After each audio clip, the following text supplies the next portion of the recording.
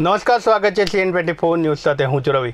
વિગતવાર સમાચારમાં વાત કરીએ તો સેના અથવા પોલીસના શબ્દકોશમાં માર્ટર અથવા શહીદ જેવો કોઈ શબ્દ છે જ નહીં.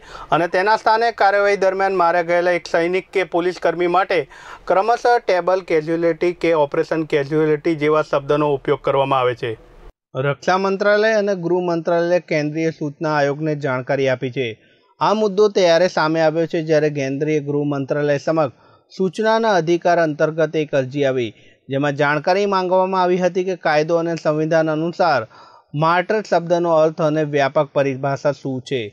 આ આરટીઆઈ આવેદનમાં તેના ઉપયોગ પર લગામ લગાવવા માટે કાયદાકીય પ્રવાધન તથા ઉલ્લંઘન પર સજાની માંગ કરવામાં આવી હતી.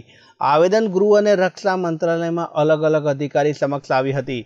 પરંતુ જ્યારે આવેદનકર્તાને સંતોષકારક પ્રતિક્રિયા ન મળતા તેમણે સીઆઈસી સાથે સંપર્ક કર્યો હતો.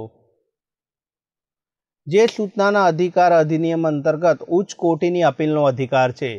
સૂચના આયુક્ત યશવર્ધન આઝાદે કહ્યું હતું કે રક્ષા અને ગૃહ મંત્રાલયે પ્રતિવાદી આ દરમિયાન હાજર હતા અને તેમને પણ સાંભળવામાં આવ્યા હતા.